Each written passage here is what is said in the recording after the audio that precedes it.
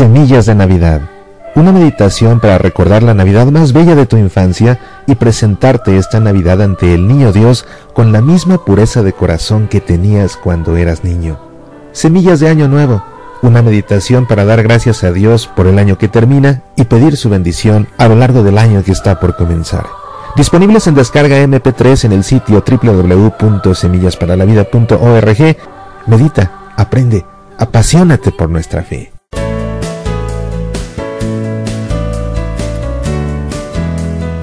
Agradezco enormemente que sintonices estas semillas para la vida en este gozoso tiempo de Adviento que tanto estamos disfrutando tú y yo acompañándonos por este medio. Hoy quisiera que reflexionemos acerca del significado que tiene el nacimiento, una de las tradiciones más sabrosas que tenemos que hace las delicias de chicos y grandes y tal vez sobre todo de los chicos. ¿Qué niño no hay que no se regocije simplemente poniéndose de pie frente al nacimiento y contemplándolo? y viendo cada una de sus figuras una y otra vez y una vez más, recordando la historia de la Navidad, anhelando la llegada de la gran fiesta, en mi caso jamás podré olvidar el majestuoso nacimiento que montaba mi abuela, un nacimiento grandísimo, no solamente con el portal de Belén y la Sagrada Familia y los magos de Oriente, sino que había un lago con peces nadando y flotando por debajo del agua con algunos efectos especiales que montaba mi abuela,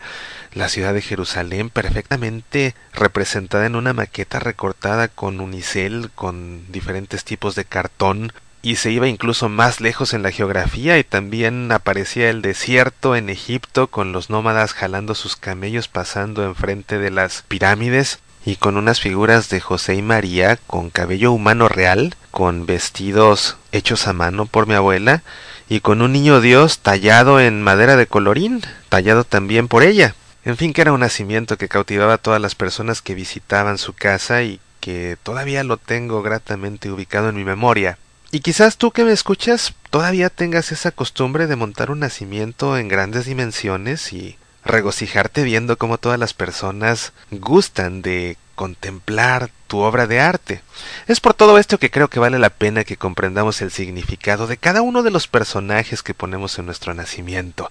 esta tradición que debemos a San Francisco de Asís. Y comenzamos por la Sagrada Familia, José y María siempre en la cueva de Belén o en el portal de Belén, custodiando el pesebre, que dejamos vacío hasta la Nochebuena cuando nace Jesús y acostamos finalmente al niño Dios en el pesebre. El pesebre tiene una relación muy importante con la Eucaristía y con la misma ciudad de Belén en la que nació Jesús, porque si te fijas el pesebre se utiliza para dar de comer a los animales y el nombre de Belén significa casa del pan, y de esta manera Jesús, que es el pan de vida, nace en la casa del pan y al nacer es colocado en un pesebre que sirve para alimentar. Vemos aquí la fuerte conexión con el pan de vida que es Jesús, que desde que nace es recostado en un pesebre y que antes de morir se nos entrega en la Eucaristía, en el pan y el vino que consagra y convierte en su cuerpo y sangre. En el nacimiento también solemos poner a los pastores con sus ovejas, son piezas fundamentales.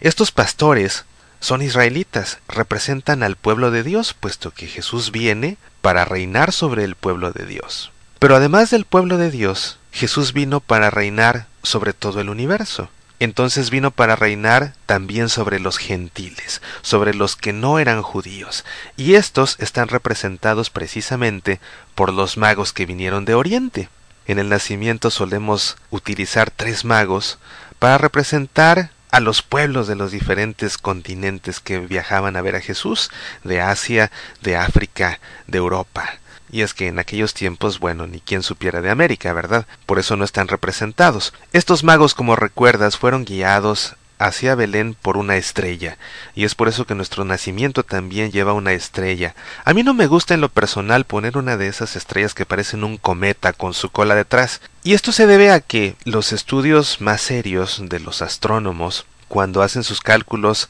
y se remontan a los mapas astronómicos en aquellas fechas en las que nació Jesús, la mayoría parecen coincidir en que esta estrella que vieron los magos en realidad se trataba de la conjunción de dos planetas, Júpiter y Saturno. Esto es muy significativo porque Júpiter es el planeta que, según la astrología, rige el destino de los reyes, y Saturno era la estrella, o planeta estrictamente hablando, que regía el destino del pueblo de Dios, y de esta manera al juntarse la estrella que rige el destino del rey con la estrella que rige el destino del pueblo de Dios, los magos así supieron que era el momento en que naciera aquel Mesías del que les habían hablado las personas del pueblo de Dios que habían llegado hasta sus tierras en aquellos años y años de exilio que sufrieron. Hay que recordar que en aquel tiempo la gente se regía por el movimiento y la posición de los astros y suponían que de ellos dependía el destino de las personas, de los países, de las naciones, y vemos aquí cómo Dios se vale de esa cultura astrológica para guiar a los magos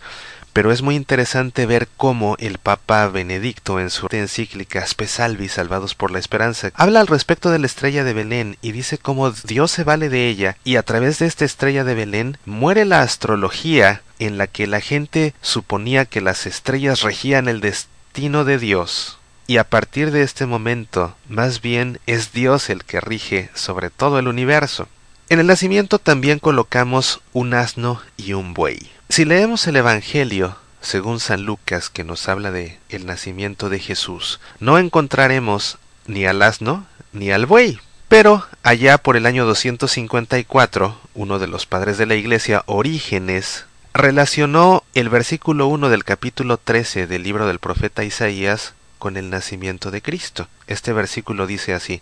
Conoce el buey a su dueño y el asno el pesebre de su amo, pero Israel no conoce mi pueblo no discierne. Los padres de la Iglesia dieron al buey al asno dos tipos diferentes de interpretaciones. Apoyándonos en este versículo de Isaías, el asno y el buey pueden significar precisamente aquellos que sí conocen a Jesús como su rey, a diferencia del pueblo de Dios que neciamente lo rechazará. Pero también otros padres de la Iglesia entendían esto como que el buey y el asno representan a la naturaleza, sobre la cual Jesús también gobernará, siendo Jesús el rey de todo el universo, de los judíos, representados por los pastores, de los gentiles, representados por los magos que vinieron de Oriente, y también de todo el resto de la creación, representados por el buey y por el asno. Como ves, todo nuestro nacimiento tiene un significado, vale la pena conocerlo para saborear más de esta rica tradición.